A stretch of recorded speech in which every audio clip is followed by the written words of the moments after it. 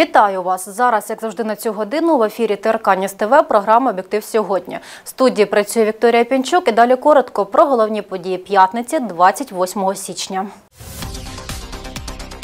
Щепитися втретє. У нас вакцинація 100%. На Миколаївщині триває бустерна вакцинація від COVID-19. Наразі до неї долучилися співробітники територіальних центрів комплектування. Перші 20 офіцерів вже отримали свої треті дози. Миколаївщині свій бренд. Це ідентика Миколаївщини саме. У Миколаєві презентували сувенірну лінійку із таврійським розписом. Це посуд, магнітики, пряники, блокноти тощо. Мандрівники зможуть їх придбати в сервісних зонах та брасом, кролем, батерфляєм. Чувствовала, что буду первая, да. У Миколаєві пройшов зимовий чемпіонат з плавання. За можливість виступати у збірній області на чемпіонатах України боролися спортсмени з семи команд. Несприятливі погодні умови дошкуляють миколаївським водіям. Погана видимість, опади та складна дорожня обстановка призводять до збільшення кількості дорожньо-транспортних пригод. В день 27 січня аварія сталася на проспекті Богоявленському. Рухаючись в бік Жуківського кільця, водій Ауді втратив керування та врізався в електроопору. Начебто до такого маневру його спровокував інший водій, підрізавши його на своєму авто. Внаслідок ДТП попередньо відомо, що постраждав пасажир іномарки. Його з місця автопригоди забрала карета швидкої. У п'ятницю в мікрорайоні Тернівка так само зіткненням зі стовпом закінчилася дорожньо-транспортна пригода за участі автомобілю «Кія». Від удару транспортний засіб отримав значні механічні пошкодження. Дісталося також пасажиру. Він з травмами в лікарні. Паніка – найгірший ворог під час надзвичайної ситуації. Як реагувати, що робити та куди звертатися? Рятувальники та поліцейські пішли миколаївськими школами, аби навчити дітей правилам протимінної безпеки. Дзвоник лунає для вчителя. Три дзвоники означають евакуацію з навчального закладу. В останні тижні українським школам доводиться проводити її ледь не щодня. Не поспішаємо, подіваємося. Пропускаємо дівчат, будьте уважні один до одного. Підсказати, що була якась паніка, я не можу сказати, тому що е, ми були собі під час навчального процесу, ми собі працювали, і під час евакуації діти робили те, що зазвичай роблять. Навчальна тривога, підліткам скоріше розвага. Піротехніки не мають права дозволити собі легковажно ставитися до таких ситуацій. Тож кожне повідомлення про замінування відпрацьовують з повною серйозністю і закликають так само пильнувати і школярів. Зокрема, що стосується незнайомих або підозрілих предметів. Тут у нас макет також саморобного вибухового пристрою. Працює елементарно на замиканні. Ви будете розкривати, проводочки будуть розходитись і знову пролунає вибух. Розумієте, да? Ви можете поставити під небезпеку не тільки себе, а й оточуючих на місці евакуації. Тому ще раз наголошую, підозрілі предмети, сумки і так далі. Не треба не розпаковувати, не близько підходити, не жбурляти в них каміння, нічого. Ви побачили, ви не впевнені, що ви не знаєте, що це таке. Ви не клали цього на те місце, не треба туди підходити. Кличте дорослих, дорослі будуть дивитися, розбиратися, будуть приїжджати відповідні служби. 101, 102, 103, 104. Це номери телефонів, які можуть знадобитися в будь-яку хвилину. Відчули запах газу 104. Трапилось щось з рідними, треба швидка допомога 103.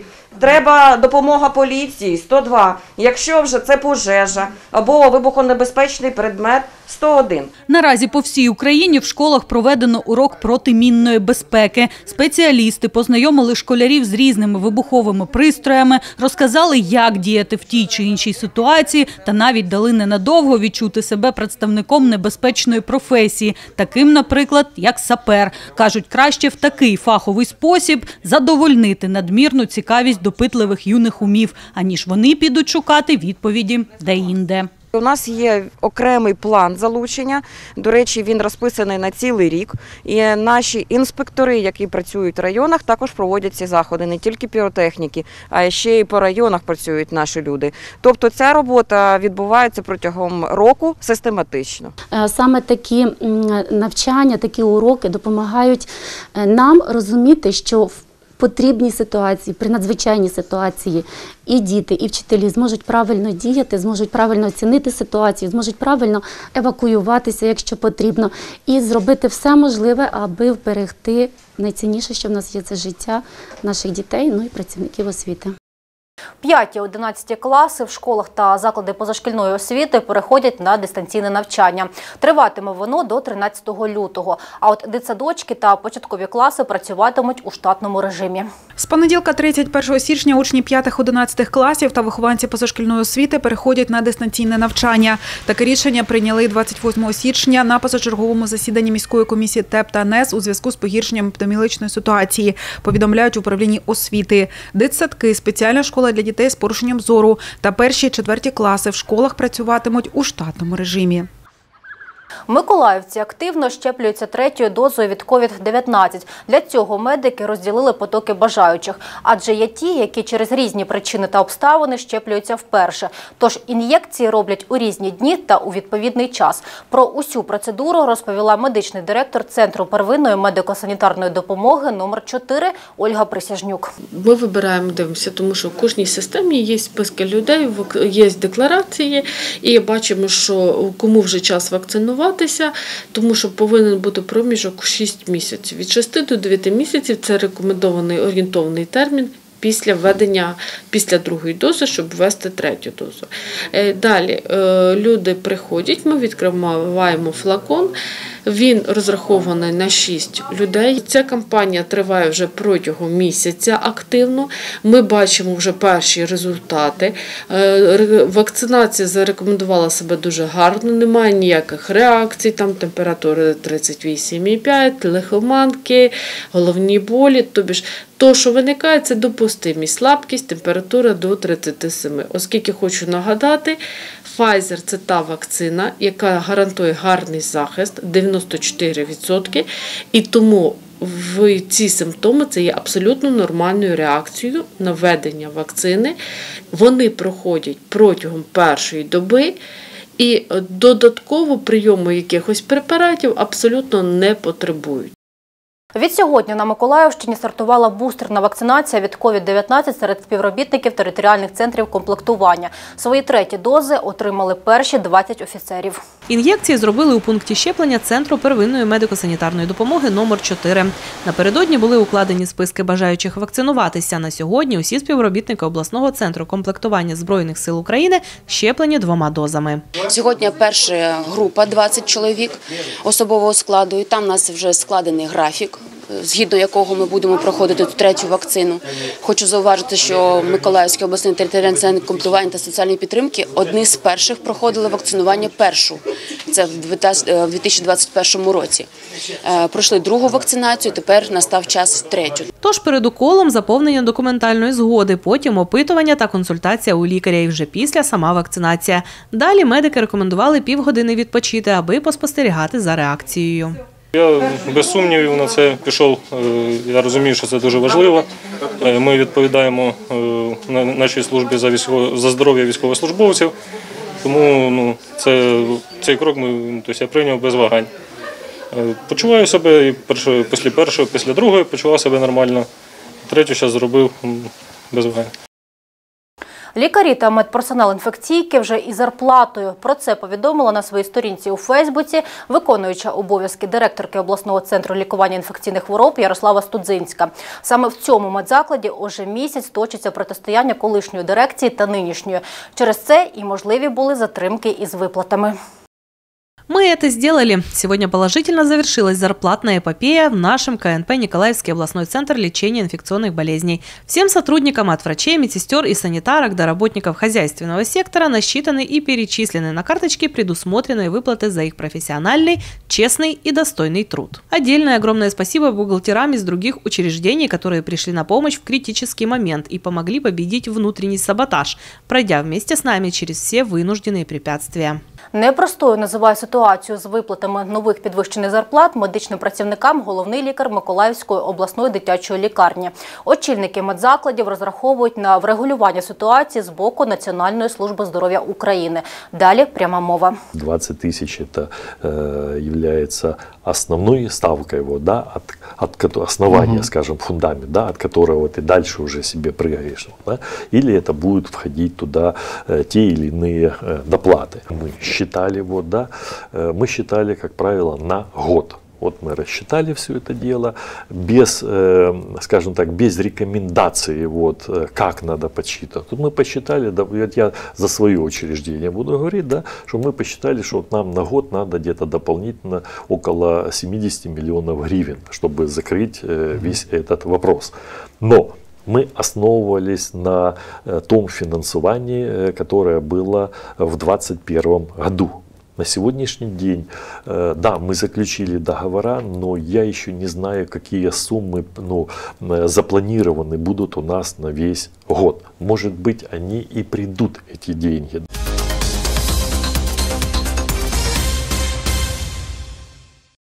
У Первомайському краєзнавчому музеї відновили майстер-класи з гончарства та свічникарства.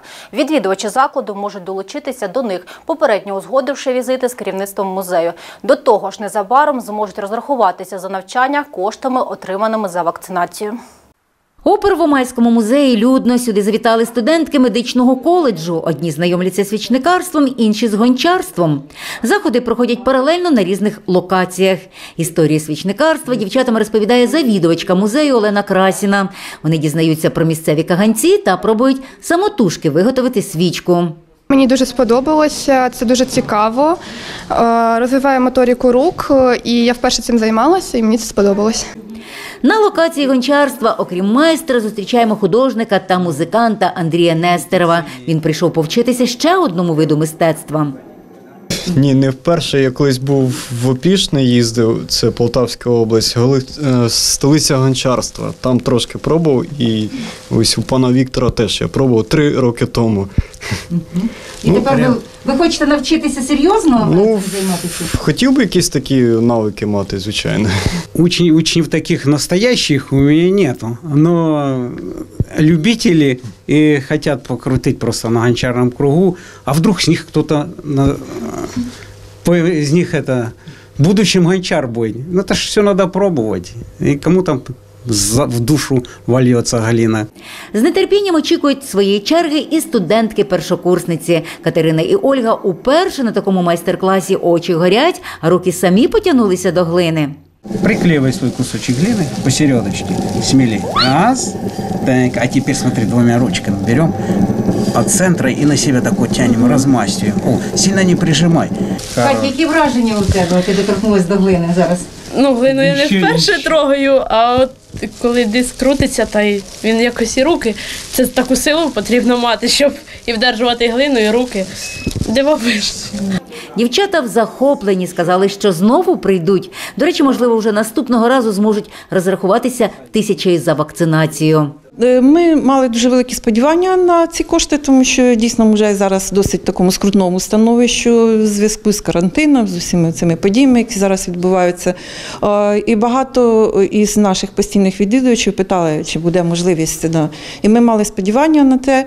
Е, Ну, зараз почався процес встановлення терміналів у музеї. Уже в центральному нашому музеї вже є термінал, і ми сподіваємось, що ми встигнемо ще. І в нашому музеї також з'явиться термінал для того, щоб наші відвідувачі могли скористатися цією тисячою.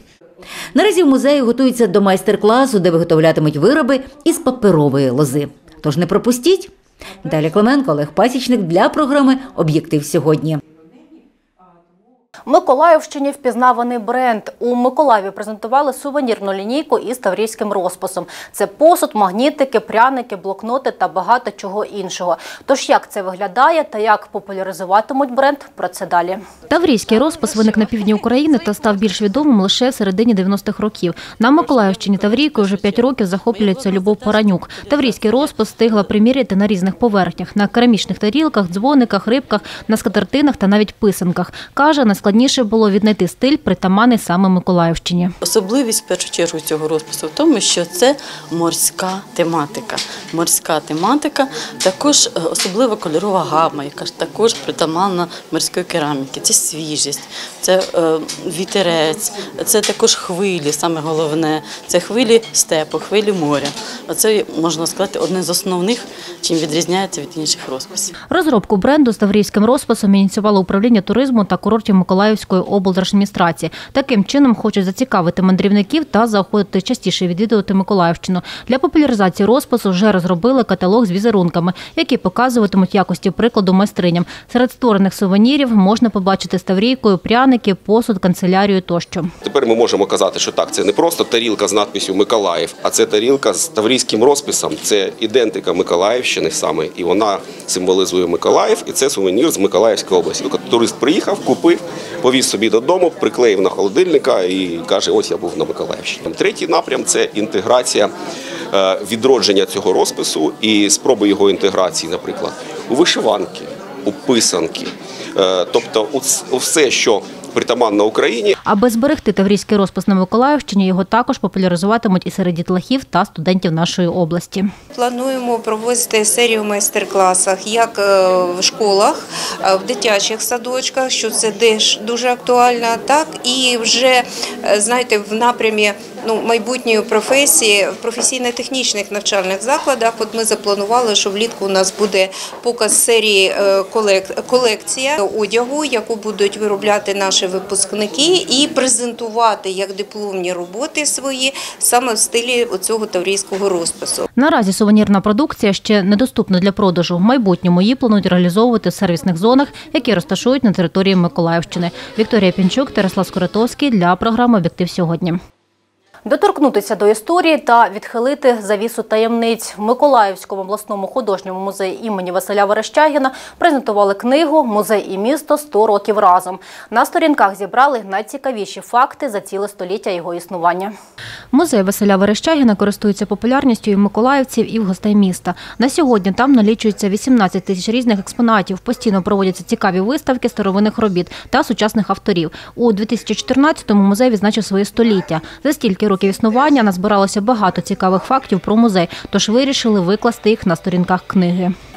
Про що йде мова? Про історію музею, його виникнення в нашому місті, як він існував в нашому місті, які люди працювали в ньому, хто нам допомагав. Головне, щоб ми дуже е, прагли, прагнули показати зв'язок е, міста і зв'язок е, музею з містом І навпаки, міста з музеєм. Книга вийшла за підтримки громадської організації Миколаївщина Надійний партнер та обмеженим накладом 80 примірників в видавництві Ірини Гудим. Лише там над нею працювали близько року. В музеї, звичайно, що більше. Пані Ірина каже, це була спільна масштабна робота, сили до якої приклали і співробітники її видавництва, і фахівці музею. Спасибо огромное музею за доверие, потому что это для, для каждого э, из, из э, людей, которые прикоснулись, это честь. И Иметь работу с таким материалом, очень глубоким, очень мощным. И, наверное, тот материал, который останется в истории этого города. И э, на самом деле м, удалось прикоснуться э, к тайнам, к тайникам э, э, этого э, музея, потому что не все и не всегда выставляется. Книгу вже подарували людям, які причетні до життя музею Василя Верещагіна або цікавляться ним. Згодом по примірнику передадуть і в міські бібліотеки. Вікторія Пінчук та Ігор Невідомський для об'єктиву.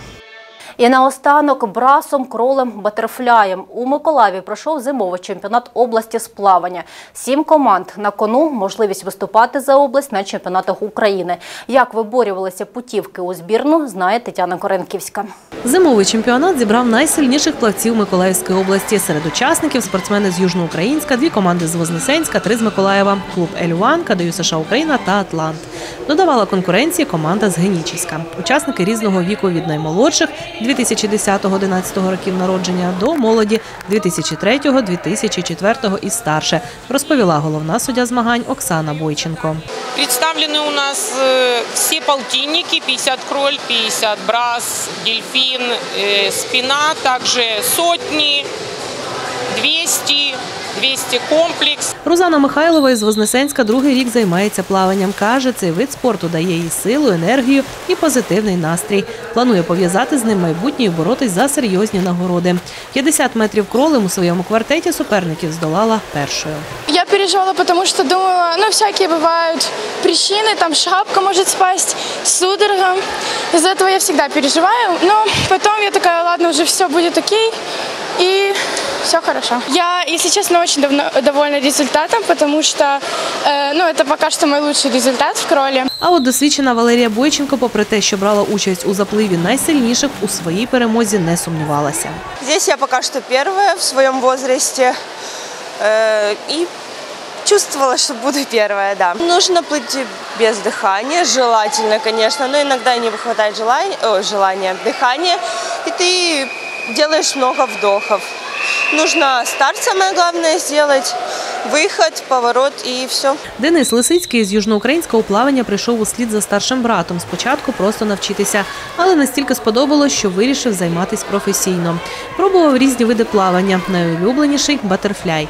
На обласному чемпіонаті теж виступає в різних видах. Результатом на 50 метрівці кролем каже більш ніж задоволений. 24.90 было 25.30, ну, улучшил, отлично. Для меня соревнования как дают новый старт. Э, Был же застой, был карантин, и мы не стартовали нигде. И сейчас будет новый старт перед следующие соревнования, как отбор на чемпионат Украины. Ну, дают опыт. Підсумком першості стане відбір у юніорську команду області. До її складу увійдуть восьмеро плавців, які вже в середині лютого представлятимуть Миколаївщину на чемпіонаті України. Тетяна Коренківська, Ігор Фетчишин для об'єктиву. І це були всі події п'ятниці, 28 січня. В студії працювала Вікторія Пінчук. А нашим телеглядачам я хочу нагадати, що цікаві коментарі та свіжі новини ви можете щодня дивитися на сайті каналу або сторінках у Фейсбук та Ютуб. Будьте завжди у курсі актуальних подій. На все добре, ще побачимось.